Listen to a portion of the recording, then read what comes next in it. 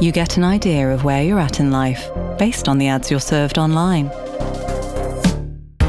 Introducing the first ever Lexus LBX for a new generation of driver, you. Suddenly, you're considering a Lexus.